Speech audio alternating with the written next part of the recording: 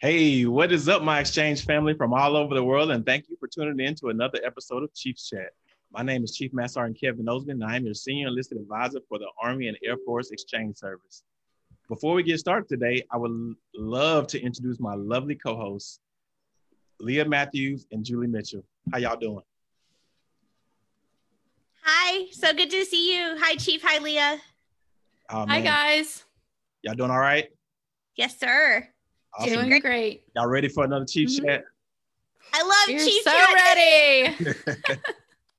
well, today we have a wonderful guest that represents the backbone of every military service member, the military family. And without further ado, Julie, do you mind introducing today's guest? I am so excited to introduce today's guest. We're so lucky to have her with us today. She's going to have a lot of great information for our viewers.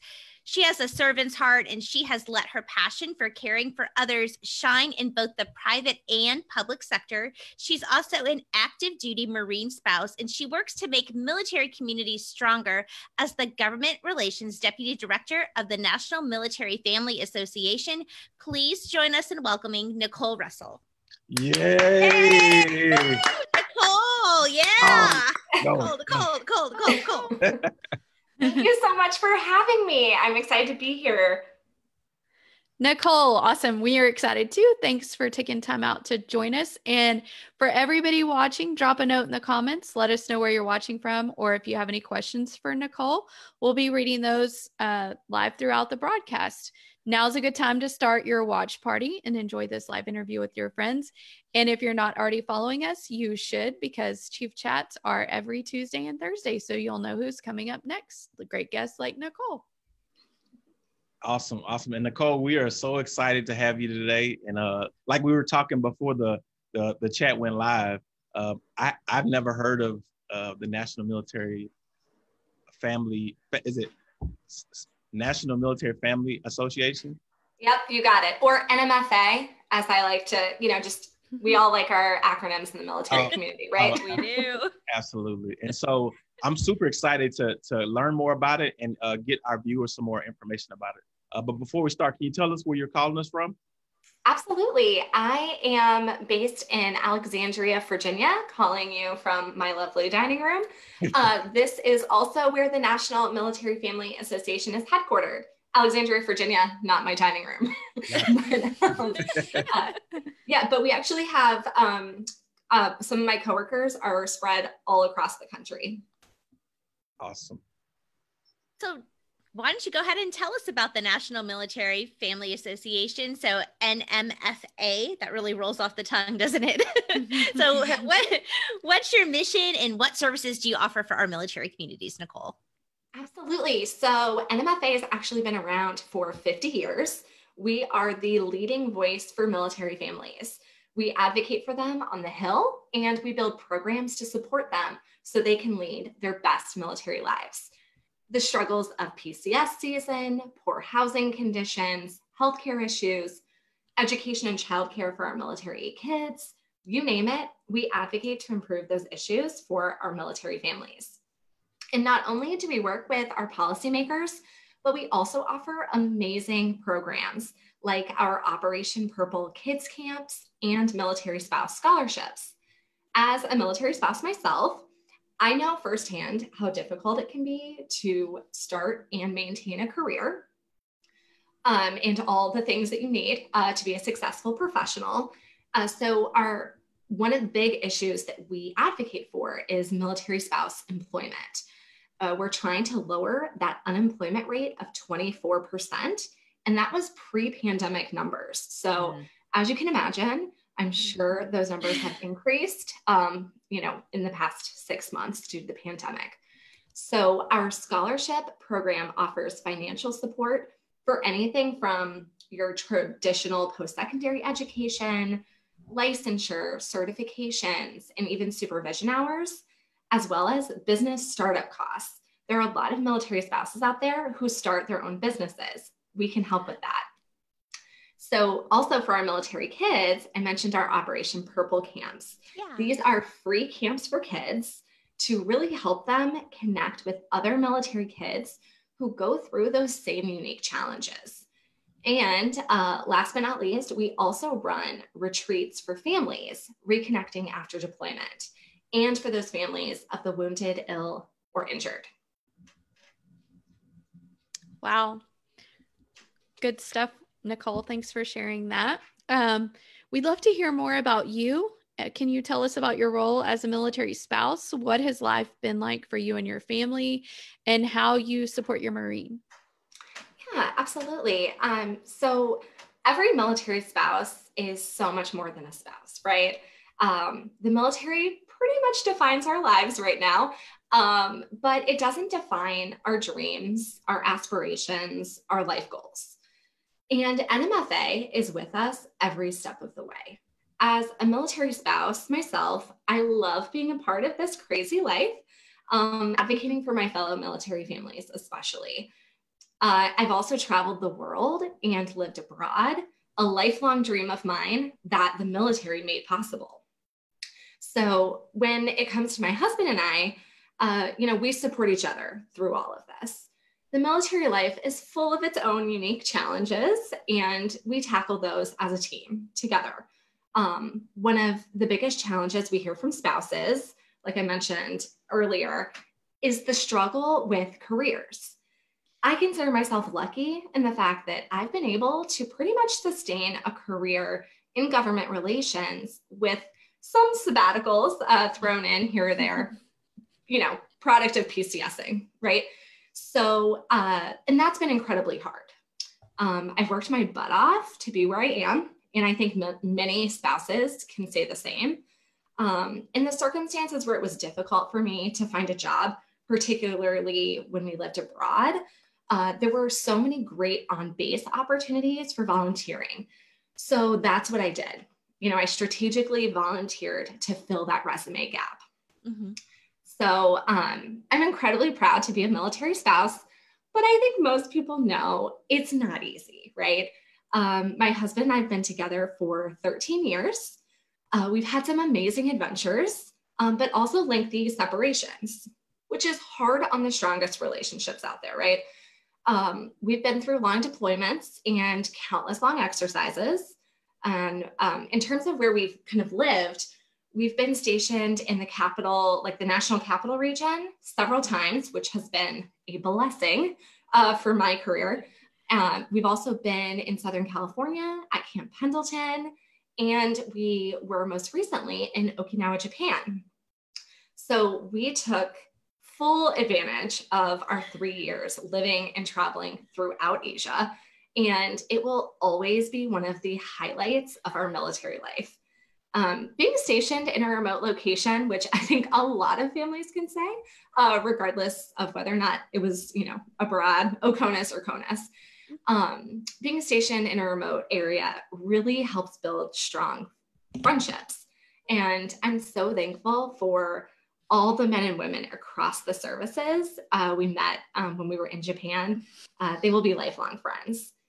And, you know, there's always something that you can count on in this military life. And I will say that's uncertainty. I didn't always deal with it as well as I can today. but um, over the years, I've come to look forward to that uncertainty that lies ahead, um, knowing that my husband and I are on this same adventure together. Yeah, I agree. The change is the only constant in in uh, in this world, really. If you, if, uh, let alone the military, and so uh, you really have to get comfortable, um, get as comfortable as you can be with change. And uh, and we we live that on a daily basis. And we appreciate your your sacrifices as a, a military spouse. Uh, were you familiar with NMFA during all your different PCSs? Yeah. So funny enough, I've known about NMFA, um, gosh, probably since tw- 2014. So I used to work for a global media company doing government relations there in the Washington, D.C. area. And I was doing public policy work, and they wanted us to find some military affiliated organizations to partner with. And so I cold called NMFA because I just Googled a bunch. And I mean, as a military spouse, there's still a lot that I learned every year about the military and the community as a whole, right? So I cold called NMFA's head of communications, created this amazing partnership. We sponsored a float for the Veterans Day Parade in New York City. I mean, we did all these awesome um, projects and programs with NMFA when I uh, was working for this uh, global media company. And I fell in love with their mission. So I started volunteering in a personal capacity. So as a volunteer, you can help.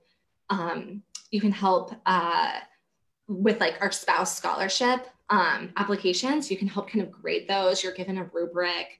Um, you can do all this online in your personal time, even if you have a full time job. Um, you can also man like tables at volunteer events um, or fairs happening on a base wherever you might be located. Also, as a volunteer, I volunteered when I was in Okinawa, Japan, just by reporting back to NMFA headquarters about the issues, good and bad, that I was seeing or experiencing in my current location, just about the military life in general, whether it be, you know, issues with the housing, you know, are there mold problems? What about, um, you know, the moving contractors, you know, when you're PCSing back and forth, are there issues there with um, DMO or, you know, getting your car in and out of storage? All, you know, all these random issues that mil- military is so unique and has to deal with every few years. So I did that when I was in Okinawa. And I've just been in love with the mission and everything that they do and stand for. So we got back from Okinawa back to the DC area a year ago. And, you know, I just got in touch with them and here I am. Awesome. That's an awesome story. Yeah. Um, it shows you how just, you know, being involved uh, establishes those connections and, and you're able to, you know, be a part of the team now. So I'm, I'm glad. I'm sure they they're glad they that they got you on the team now. So, um, so your office works with the Exchange Retiree Advisory Council, and I wasn't really sure about that. I've only been on the job probably about three weeks, and so our retirees have a voice at the exchange. So all the retirees that are that are that are watching, we we we're advocating for you, and we have a council representing your your uh, your interests. Uh, tell us about your role on the council and how it strengthens the exchange benefit.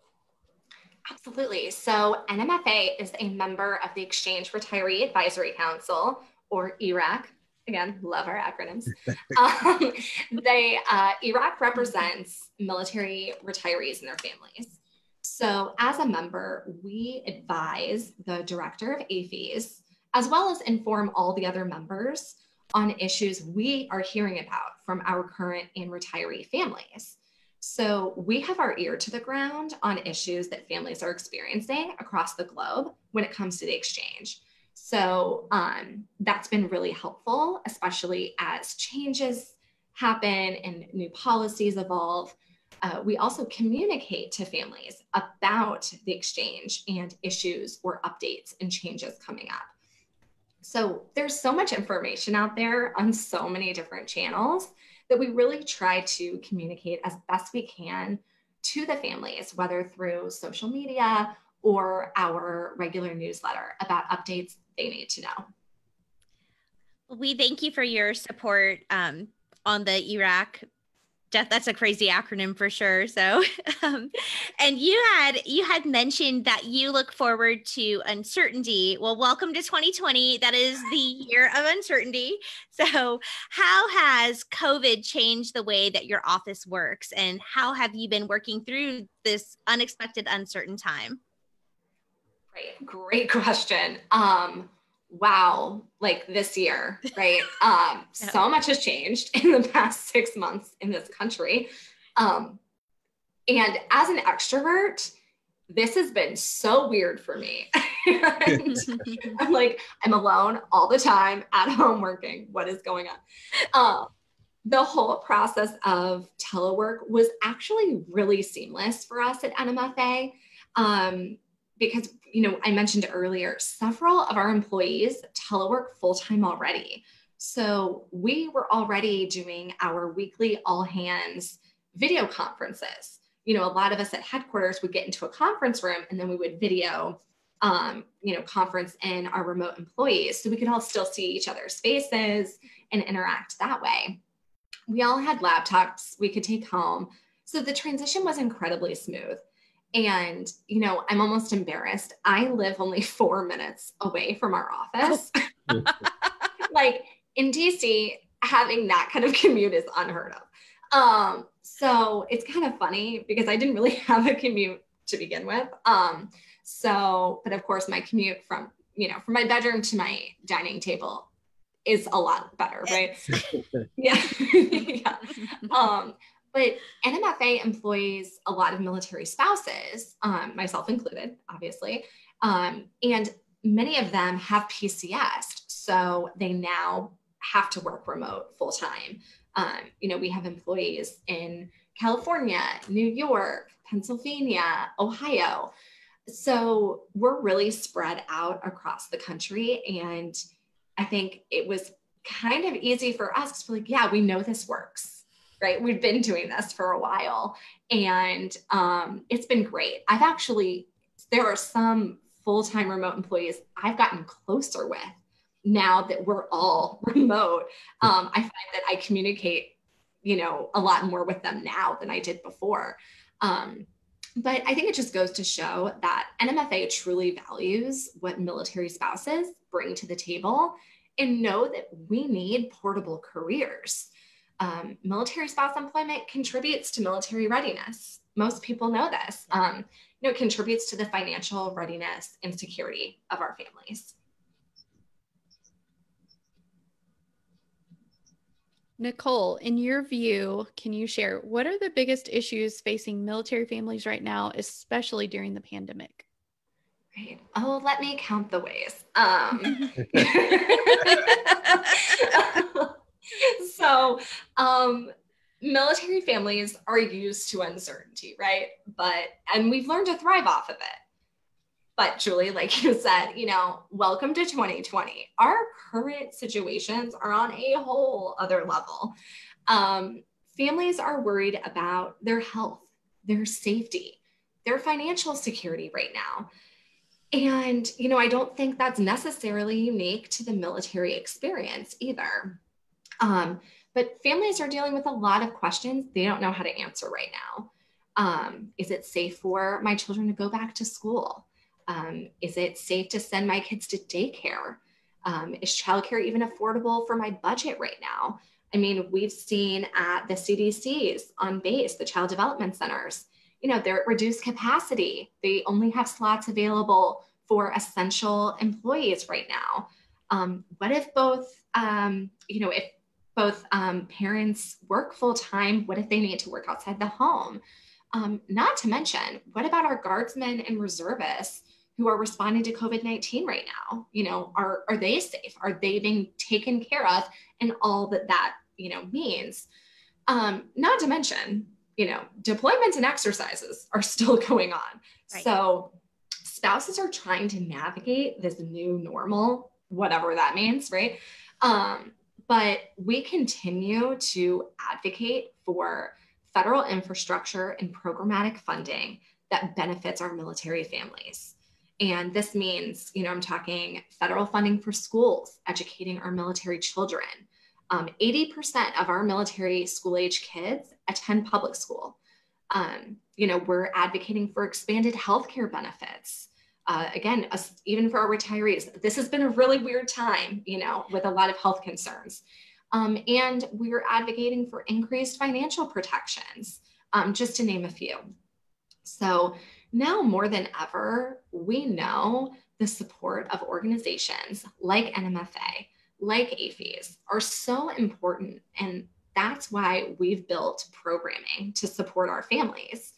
Um, NMFA, we pivoted an entire Operation Purple Camp program, um, which was happening all over the country, you know, starting around spring break through the summertime. Mm-hmm. Um, we adjusted it to the virtual environment by hosting a virtual camp on Facebook um, full of great activities and a platform, a platform for families to connect with others, no matter where they're located.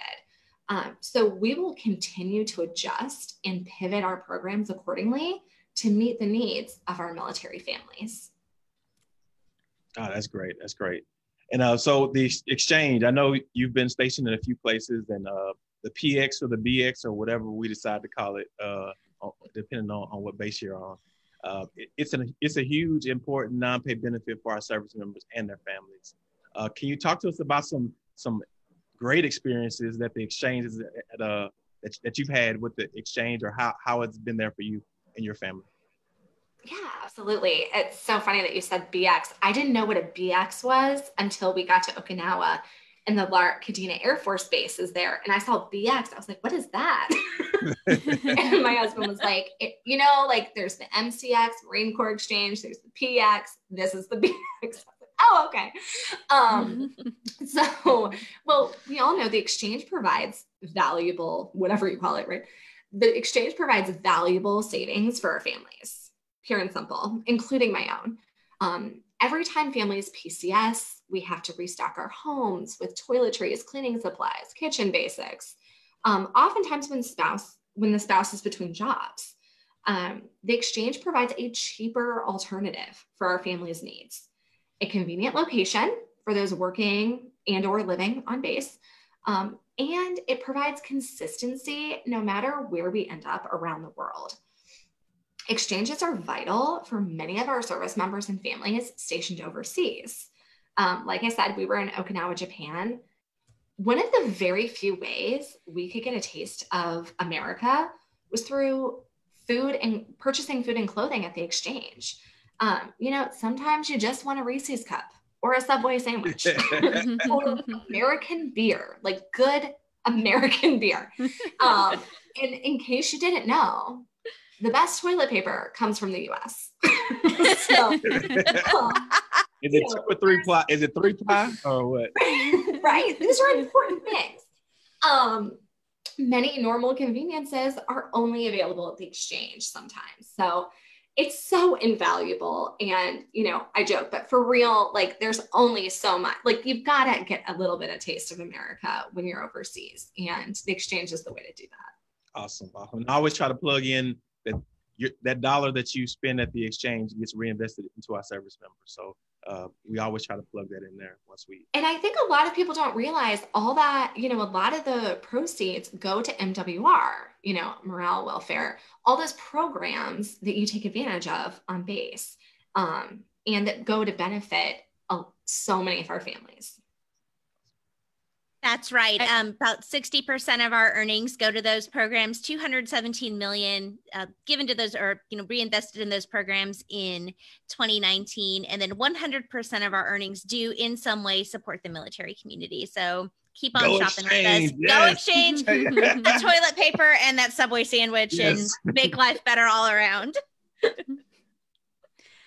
Excellent, Nicole. Thanks so much for sharing your experiences. Um, just want to pause for a second to look at the comments on our live feed and share some of that. So, people are watching from all over the world. Um, we have Mehmet, I believe, watching from Turkey. Uh, Pierre says, Thanks, Nicole, for what you do for our military families. We have Celia from Waldorf, Waldorf Maryland. Jeffrey says, Hello from upstate New York. My CLC classmate, hello from Papa Trot. I hope you know what that means, Nicole, because I don't know. oh no, no, that's that's my uh, CLC class. oh, okay, all right. No, like, Papa, Papa Trot, we love you. Excellent. And then Jennifer says 100% on the TP. We are definitely spoiled in the United States.